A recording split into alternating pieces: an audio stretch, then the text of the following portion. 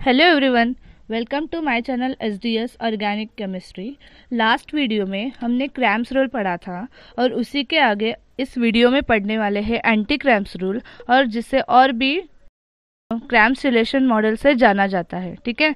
तो अगर आपको इससे रिलेटेड रिएक्शंस जो है इजीली सॉल्व करने हैं तो प्लीज़ ये वीडियो एंड तक ज़रूर देखिएगा।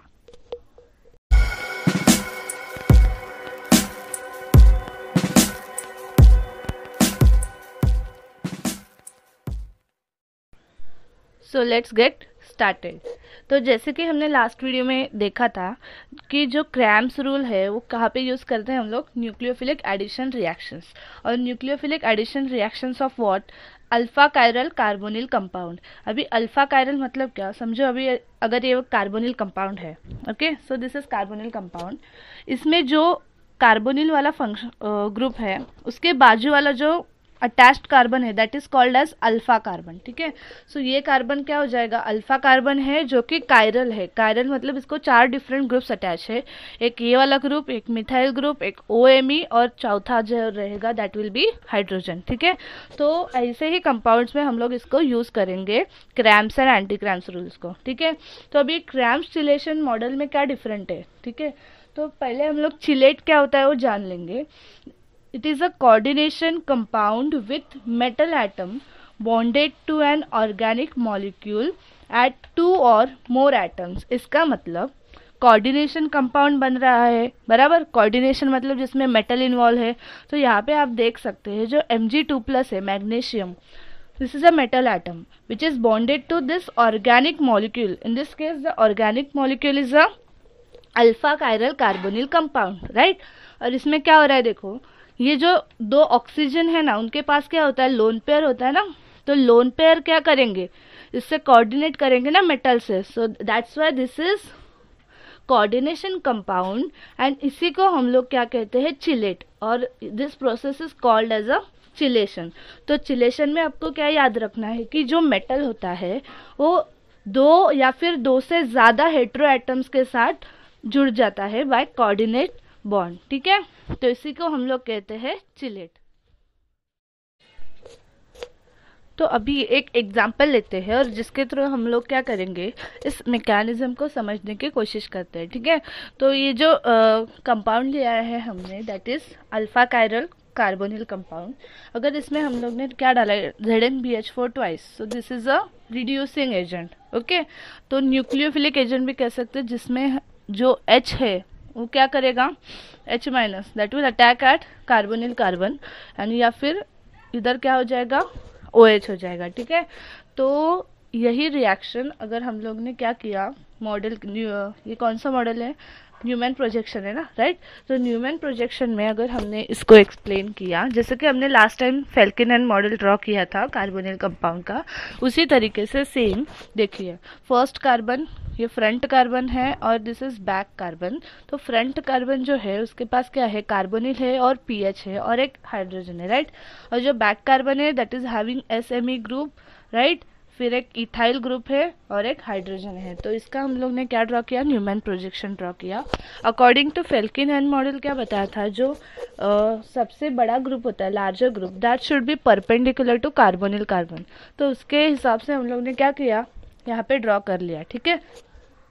तो अभी जो न्यूक्लियोफाइल अटैक करता है that is from the unhindered side okay Burgi Dunitz angle से।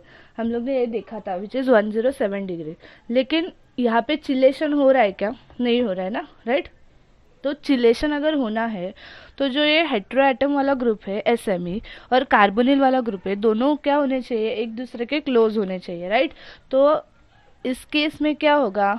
न्यूक्लियोफिल फ़ाइल जो है that will not not attack from this side इसके वजह क्या हो जाएगा? इस, ये रोटेट हो जाएगा। जो एस एम ई ग्रुप है ना, यहाँ पे रोटेट होगा। मतलब बैक वाला कार्बन रोटेट होगा।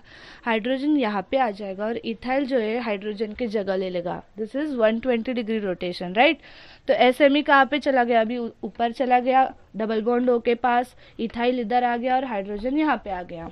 Okay okay? तो अभी इसमें देखो चिलेशन इज़ पॉसिबल ना यार? जेड एन टू प्लस जो एटम है, वो क्या करेगा? ऑक्सीजन के लोन पेयर और सल्फ़र के लोन पेयर इनके साथ क्या करेगा? कोऑर्डिनेट करेगा राइट तो इसीलिए इसको हमने क्या किया? रोटेट किया। है this is called as a Cram's chelation model क्योंकि यहाँ पे चिलेट फॉर्म हो रहा है, ठीक है? तो अभी जो न्यूक्लियोफाइल है, यहाँ पे देखो Z N B H four twice जो है, वहाँ पे न्यूक्लियोफाइल इज़ दिस ना बी एच फोर माइनस तो ये वाला बॉन्ड ब्रेक हो जाके यहाँ पे अटैक करेगा, फिर ये उसकी तरफ़ ब्रेक होके ओ OH बन जाएगा राइट तो हम लोग ने ओ OH बना दिया एच इधर आ गया अटैक कर दिया कार्बोनिल कार्बन पे पी एच तो ऑलरेडी है इसको बैक वाला कार्बन जो है वो वैसे के वैसे रहेगा। तो अभी इसको अगर normal plane paper of plane paper में ड्रॉ करना है तो हम लोग कैसे क्लासीफाई करते हैं? This is this groups are above the plane this are below the plane and this groups are on the plane right तो अबव द प्लेन वाले जो ग्रुप्स है और बिलो द प्लेन वाले ग्रुप्स है, देखो। तो यहाँ पे जो पी एच आ रहा है फ्रंट कार्बन का yellow is front carbon blue is back carbon तो फ्रंट कार्बन का जो पी एच ग्रुप है, वो लार्जर ग्रुप है ना, और अगर प्लेन ऑफ़ पेपर में ड्रॉ करना है तो larger group should be on the plane ठीक है? तो इसीलिए हम लोग क्या करेंगे, ये वाला फ्रंट कार्बन है ना, उसको क्या करेंगे रोटेट करेंगे। तो ये पी एच ग्रुप इधर आना चाहिए ना? तो 120 डिग्री से रोटेशन होगा तो पीएच इधर आएगा एच कहाँ पे जाएगा? ओ OH की जगह और ओ OH आएगा पीएच की जगह, ठीक है? तो ये वाला स्ट्रक्चर बनेगा राइट तो अभी हम देख सकते हैं एस एम ई और एच जो ग्रुप है, वो क्या है? अबाउ द प्लेन है P H and E T R on the plane तो ये ऑन द प्लेन होने से क्या होता है कि लार्जेस्ट चेन स्ट्रक्चर मिल जाता है हमको।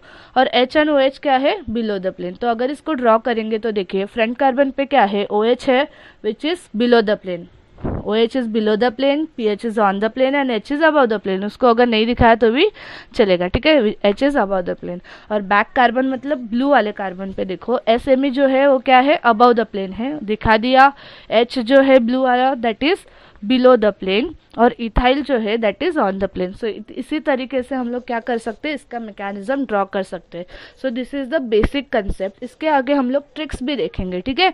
तो ये ये जो कंसेप्ट है वो आपको समझना ज़रूरी है ओके okay, अभी इधर क्या लिखा है देखो. Chelation reverses the stereo selectivity इसका मतलब क्या है? और अभी हम इसमें एक्सप्लेनेशन के बाद देखेंगे, ठीक है? तो अभी ये देखिए this is alpha chiral carbonyl compound right तो इसमें देखिए, हम लोग ने क्या किया है? जो कायरल कार्बन है, उसके जो ग्रुप्स है, उनको smaller medium and larger group ऐसे डिफ्रेंशिएट किया है ओके okay? जैसे हमने क्रैम्स मॉडल सीखते समय किया था राइट ट्रिक्स अगर हम लोग को करनी है तो ये small medium and larger group ऐसे डिफ्रेंशिएट करना पड़ेगा फ़र्स्ट उसके बाद यहाँ पे क्या हो रहा है? Additional is metal okay metal जो है, वो क्या करेगा? इस जेड एटम और ओ एटम से कोऑर्डिनेट करेगा right through their lone pair तो जेड एटम मतलब क्या? जेड एटम मतलब ऐसे ग्रुप जिनके पास हेट्रो एटम है विथ लोन पेयर्स राइट तो it can be O H O R O minus N H two N H R N R two S R group S H group C O N H two amide group ठीक है? तो ये सारे जो groups है they can be there in place of Z right अगर Z की जगह अगर हेलोजन होता है तो हम लोग क्रैम्स रूल अप्लाई नहीं कर सकते। मतलब एंटी क्रैम्स रूल यहाँ पे नहीं आएगा, ठीक है? तो हेलोजन जब आता है then it becomes the Cornforth model जो आज हम नहीं पढ़ने वाले हैं, ठीक है? थीके? तो इसमें अभी ट्रिक्स क्या है देखो। जैसे कि हमने क्रैम्स रूल में क्या देखा था? अगर larger group and smaller carbonyl carbon ठीक है? तो larger group and carbonyl carbon अगर क्या है एंटी है तो स्मॉलर ग्रुप की तरफ़ से न्यूक्लियोफाइल अटैक करता है। तो इसमें बिल्कुल ही उल्टा है। उल्टा मतलब अगर जेड यहाँ पे हम लोग जेड ग्रुप देखेंगे, जो क्या है? हेट्रो एटम वाला ग्रुप राइट तो जेड एंड कार्बोनिल अगर सिन है, ठीक है? सिन मतलब सेम साइड में है तो चिलेशन होगा तो चिलेशन जब होता है तो nucleophile will attack from the smaller size group मतलब ये उल्टा है सिन है तो स्मॉलर साइज़ के ग्रुप की तरफ़ से अटैक करेगा। और जेड एंड कार्बोनिल अगर एंटी है मतलब जेड अगर इसके अपोजिट साइड में आ गया कार्बोनिल के तो क्या हो जाएगा? जो न्यूक्लियोफाइल आ रहा है that will attack from the medium size group ठीक है? तो आपको ये दो ट्रिक्स इसमें याद रखने हैं तो इसी के बेसिस पे हम लोग क्या करेंगे? रिएक्शन सॉल्व करेंगे। ठीक है? ये this is opposite to word Cram's rule and hence the stereoselectivity जो होती है प्रोडक्ट की, वो क्या हो जाती है? रिवर्स हो जाती है as compare to the Cram's rule okay और इसके बाद हम लोग देखेंगे जो मेटल्स है कौन कौन से मेटल्स है जो चिलेट फॉर्म करेंगे, ठीक है? सो so, ये जो मेटल्स है लेफ़्ट हैंड साइड में ये क्या करेंगे? नॉर्मली चिलेशन में इन्वॉल्व हो जाएँगे। मतलब चिलेट फॉर्म करेंगे। ठीक है? ये जो है lithium plus M G two plus lithium plus कहाँ पे होता है? Lithium aluminium hydride these are the examples okay और reagents can say where the metal is present so magnesium two plus M two M G हो सकता है Z N two plus जैसे कि हमने देखा पहले ही Z N B H four twice है C U two plus that is R two C U L I this is Gilman's reagent right T I four plus example is T I C L four C E three plus example is C E C L three okay so ये जो metals हैं वो क्या करेंगे? Normally chelate form करेंगे okay okay, तो chelate formation के वजह से क्या हो जाता है? जो कंपाउंड है, वो क्या हो जाता है? स्टेबल हो जाता है, ठीक है? मतलब देखिए, अगर ये कार्बोनिल कंपाउंड है, यहाँ पे क्या है? जेड ग्रुप है, ठीक है? तो ये मेटल यहाँ यहाँ क्या कर रहा है? कोई भी जनरल मेटल है, ठीक है? सो चिलेट फॉर्मेशन की वजह से क्या हो गया? ये स्टेबल हो गया। स्टेबल है, इसीलिए फॉर्म होगा ये राइट और रिएक्टिव भी होता है। ये रिएक्टिव क्यों होता है? बिकॉज़ देखिए कार्बोनिल कार्बन का जो ऑक्सीजन है उसमें क्या हो गया? उसने अपने इलेक्ट्रॉन से इस मेटल को मतलब कोऑर्डिनेट कर दिया इसके साथ राइट इसका मतलब जो कार्बन की एसिडिटी है, वो बढ़ गई। एसिडिटी बढ़ गई मतलब इलेक्ट्रॉन डेफिशिएंट हो गया ना वो, क्योंकि इलेक्ट्रॉन्स तो यहाँ पे जा रहे हैं मेटल के पास। तो ये कार्बोनिल कार्बन जो है, वो बहुत ज़्यादा एसिडिक हो जाता है। इसीलिए फिर न्यूक्लियोफाइल जो है हमारा, वो कार्बोनिल कार्बन पे अटैक करता है। और फिर ये ऊपर जाके क्या बनेगा? ओ OH बनेगा, समझा? तो इसी के वजह से chelation is very important okay because it makes a stable compound and more reactive more reactive because this carbonyl carbon is getting more acidic right? तो ये सारे जो metals हैं और उसके आ, उसके बाद ये जो N A B H four plus and C C L three है ये जो रिएजेंट है ये मिला के क्या करेंगे? एंटी क्रैम्स रूल को फॉलो करेंगे। अभी ये स्पेशल है जो आपको याद रखना है ठीक है? उसके बाद metals which are not usually involve in chelation are N A plus and K plus okay तो ये जो मेटल्स है नॉर्मली चिलेशन नहीं करेंगे। तो अगर ये मेटल्स है जैसे कि N A B H four आपको एग्ज़ाम्पल आ गया कि uh, आपको क्या करना है? न्यूक्लियोफिलिक एडिशन करना है and reagent given is N A B H four then you have to follow the Cram's rule here okay तो ये सब केसेस में आप क्या करोगे? एंटी क्रैम्स फॉलो करोगे लेकिन एन ए प्लस या के प्लस का कोई रिएजेंट आया तो आप क्या करोगे? क्रैम्स रूल फॉलो करोगे राइट समझा? और N A B H four plus C C L three जो है, वो एक्चुअली ल्यूशे रिएजेंट है, ठीक है? तो ये हम कभी बाद में डिस्कस करेंगे, लेकिन आपको सिर्फ़ ये याद रखना है, अगर N A B H four and C C L three साथ में है तो आपको एंटी ग्राम्स रूल ही फॉलो करना है। बल, जबकि इसमें एन ए प्लस प्रेजेंट है, फिर भी आपको क्या करना है एंटी ग्राम्स ये ऐसा क्यों है, वो हम लोग लास्ट एग्ज़ाम्पल में इस वीडियो में देखेंगे, ठीक है? तो अभी हम देखेंगे इसके इसके कुछ एग्जाम्पल्स ओके तो सी द फ़र्स्ट एग्ज़ाम्पल ये क्या दिया है?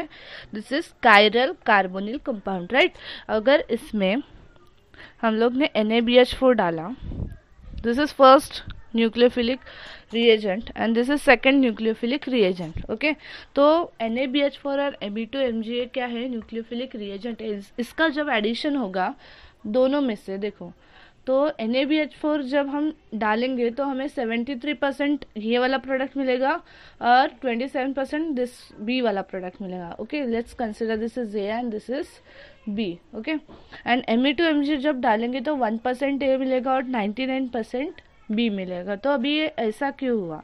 तो as we have discussed earlier जो N A N A B H four होता है, उसमें एन ए प्लस आइटम आ रहा है, बराबर? तो एन ए प्लस है तो ये वाला जो रिएजेंट है। वो कौन सी रिएक्शन देता है? This gives reactions according to Cram's rule okay और अकॉर्डिंग टू क्रैम्स रूल देखिए। इसको पहले हम लोग डिफ्रेंशिएट कर करेंगे right this is larger group this is medium group और जो हाइड्रोजन रहेगा that will be smaller group okay तो कार्बोनिल एंड लार्जर ग्रुप क्या है? सेम टू ईच अदर है सेम साइड है राइट right? तो न्यूक्लियोफाइल यहाँ पे क्या आएगा? एच तो एच कहाँ से अटैक करेगा? सिन मतलब स्मॉलर सॉरी क्रैम्स रूल में क्या होता है? सिन है तो मीडियम साइज़ के ग्रुप से अटैक करेगा। तो मिथाइल जो है यहाँ पे मीडियम साइज़ का ग्रुप है। तो जो एच आने वाला है that will be from above the plane मतलब ये न्यूक्लियोफाइल कहाँ से आएगा? अबाउ द प्लेन से आएगा राइट और OH पीछे चला जाएगा। इसीलिए जो मेजर प्रोडक्ट बनेगा, उसमें हमें ए प्रोडक्ट मिलेगा ओके और बी माइनर में क्या होगा? उल्टा होगा ओ OH ऊपर और न्यूक्लियोफाइल नीचे। लेकिन जब भी हम M E two M G dimethyl magnesium use करेंगे तो इस केस में मेटल इज़ मैग्नीशियम और मैग्नीशियम क्या करता है? चिलेट फॉर्म करता है राइट तो चिलेट अगर फॉर्म करेगा मतलब ये एंटी ग्राम्स रूल के हिसाब से प्रोडक्ट देगा राइट तो यहाँ पे यूज़ होगा एंटी क्रैम्स रूल जहाँ पे न्यूक्लियोफाइल है मिथाइल राइट तो एंटी क्रैम्स रूल के हिसाब से अगर लार्जर ग्रुप एंड कार्बोनिल क्या है? सिन होते हैं राइट सिन होते हैं तो जो न्यूक्लियोफाइल आएगा that will attack from the smaller size group ये अपोजिट है ना क्रैम्स के तो स्टीरियो सिलेक्टिविटी रिवर्स हो जाएगी। और जो यहाँ पे माइनर मिला है ना N A B H four के केस में मतलब बी प्रोडक्ट वो यहाँ पे मेजर मिलेगा। तो न्यूक्लियोफाइल स्मॉलर साइज़ मतलब एच की तरफ़ से अटैक करेगा मतलब nucleophile is below the plane और ओ एच चला जाएगा above the plane so in the case of anti Cram's rule this B product will be major one and A product जो है माइनर मिलेगा, ठीक है? तो जैसे आपने देख, देखा इधर N A B H four क्या करेगा?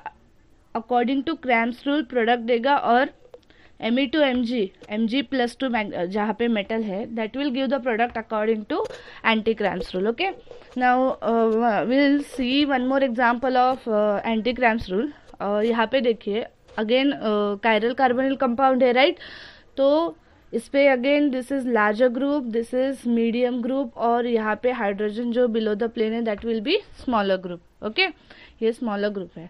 Z N B H four मतलब न्यूक्लियोफाइल यहाँ पे क्या रहेगा? Nucleophile is equals to H तो एच क्या करेगा? अभी देखिए। कार्बोनिल और लार्जर ग्रुप क्या है? एंटी टू ईच अदर है। अपोजिट साइड है। अपोजिट साइड मतलब क्या होगा इधर? जो न्यूक्लियोफाइल आएगा वो अभी अटैक करेगा मीडियम साइड के ग्रुप्स की तरफ़ से राइट तो मीडियम मतलब क्या है? मिथाइल अबाउ द प्लेन है। तो एच जो आएगा, यहाँ पे जो एच आएगा कि नहीं, वो अबाउ द प्लेन से आएगा राइट तो H will be above the plane and O H will be below the plane okay और ये सेकेंड कार्बन के स्टीरियो केमिस्ट्री तो वैसे के वैसे रहेगी। So this is the major product in this case and this is the minor product जहाँ पे O H will be above the plane and H will be below the plane okay third example ये C S R NET दिसंबर 2013 में पूछा गया था। इसमें question is find the major product तो ये जो स्टार्टिंग मटेरियल है ये क्या है? कार्बोनिल कंपाउंड है और उसका अल्फ़ा पोजीशन जो है दैट इज़ कायरल ओके तो अल्फ़ा कायरल कार्बोनिल कंपाउंड है और यहाँ पे जो रिएजेंट दिया है okay reducing reagent that is nucleophilic reagent यहाँ पे न्यूक्लियोफाइल इज़ एच ओके तो यहाँ पे क्रैम्स रूल यूज़ करेंगे या एंटी क्रैम्स रूल कैसे आइडेंटिफाई करेंगे? यहाँ पे क्या है? कायरल कार्बन पे जो एक ग्रुप अटैच है that is having hetero atom so this can form a chelate chelating model right तो इसीलिए यहाँ पे यूज़ होगा एंटी क्रैम्स रूल अभी कार्बोनिल कार्बन और ये जो ओ एम ई ग्रुप है, वो क्या है? सेम मतलब सेम साइड में है. सेम साइड में मतलब क्या होगा? कि जो न्यूक्लियोफाइल आएगा, वो क्या करेगा? स्मॉलर साइड के ग्रुप से अटैक करेगा। तो यहाँ पे लार्जर ग्रुप ये वाला है दिस इज़ मिथाइल मतलब मीडियम साइज़ ग्रुप और स्मॉलर मतलब क्या रहेगा? हाइड्रोजन रहेगा राइट तो जो न्यूक्लियोफाइल आएगा न्यूक्लियोफाइल इज़ एच ना तो कहाँ से आएगा? बिलो द प्लेन से आएगा और ओ एच कहाँ पर जाएगा? अबाउ द प्लेन तो जो प्रोडक्ट बनेगा, उसमें ये तो सेम रहेगा ओ एम ए और एच एम ए ग्रुप ठीक है? तो एच कहाँ से आ रहा है? बिलो द प्लेन से आ रहा है तो ओ एच जा रहा है above the plane so this is major product okay so this is the answer for the reaction and minor में क्या बनेगा? ओ एच नीचे और एच ऊपर, ठीक है? अभी ये फोर्थ एग्ज़ाम्पल देखिए, यहाँ पे जो, देखिए कार्बोनिल कार्बन है और चिलेटिंग वाला जो ग्रुप है मतलब ओ OH वाला जो ग्रुप है that is above the plane that is not on the plane और अगर हमें क्या करना है ट्रिक यूज़ करना है तो जो ओ OH है that should be send to this carbonyl group right तो वो प्लेन पे होना चाहिए। इसीलिए हम पहले क्या करेंगे, इसे रोटेट करेंगे।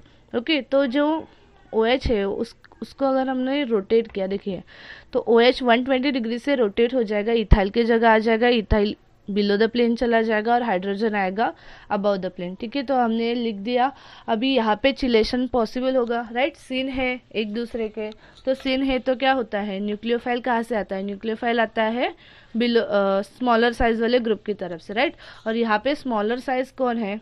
हाइड्रोजन है ना? Right this is larger this is medium and this is smaller तो स्मॉलर साइज़ मतलब यहाँ पे न्यूक्लियोफाइल क्या रहेगा? न्यूक्लियोफाइल रहेगा एच एच कैसे? ये तो हम लोग ने पहले भी डिस्कस किया है ना? बी एच थ्री माइनस और एच तो H will be nucleophile right तो जो न्यूक्लियोफाइल आ रहा है वो कहाँ से आएगा? About the plane. सो तो एच यहाँ से अटैक करेगा ओ एच कहाँ चला जाएगा? बिलो द प्लेन तो एच आ गया above the plane O H आ गया बिलो द प्लेन अभी जो स्टार्टिंग मटेरियल है, वहाँ पे देखिए ethyl is on the plane ना? तो इसको हम लोग क्या करेंगे? अगेन रोटेट करेंगे राइट right? तो इथाइल आ जाएगा on the plane O H चला जाएगा अबाउ द प्लेन और एच चला जाएगा below the plane okay so now this is the last example of our video तो ये जो एग्ज़ाम्पल है, ये क्लेडन से उठाया है।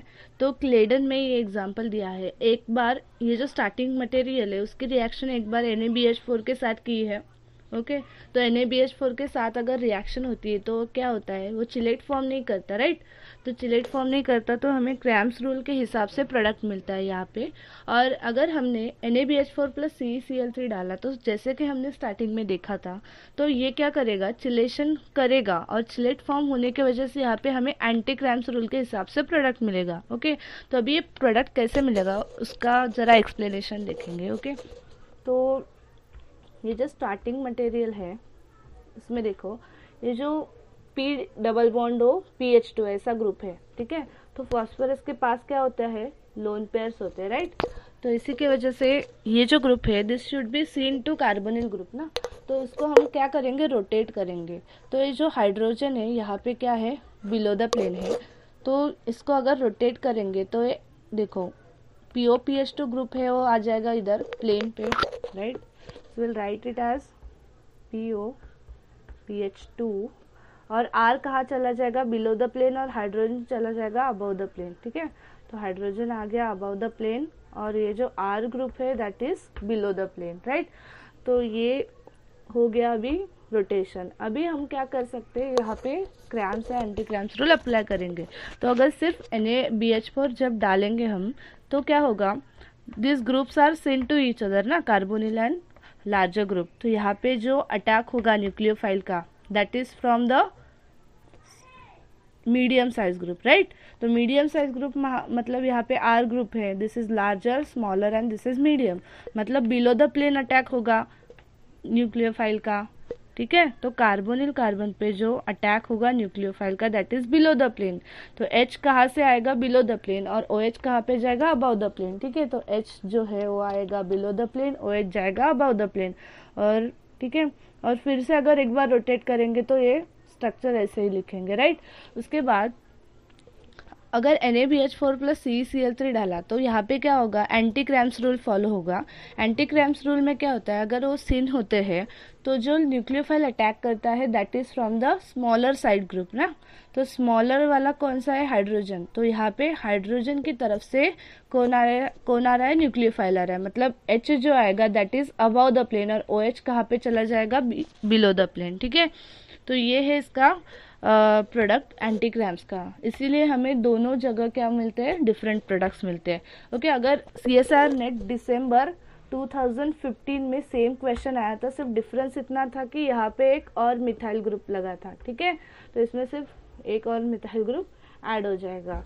ओके okay, अभी ऐसा जो N A B H four plus C S C L three C C L three में क्या है? This is Luche reagent as we have discussed earlier तो सी सी एल थ्री के वजह से यहाँ पे क्या होगा? चिलेशन होगा। तो जो चिलेशन होगा दिस इज़ लाइक दिस ये मॉडल ऐसे हम लोग लिख सकते हैं, जहाँ पे six member chelate chelated transition state बनती है ओके तो P O P H three वाला जो ऑक्सीजन है और ये कार्बोनिल वाला ऑक्सीजन है, वो सी थ्री प्लस के साथ कोऑर्डिनेट हो जाते हैं एंड इसीलिए यहाँ पे एंटी क्रैम्स रूल बनता है।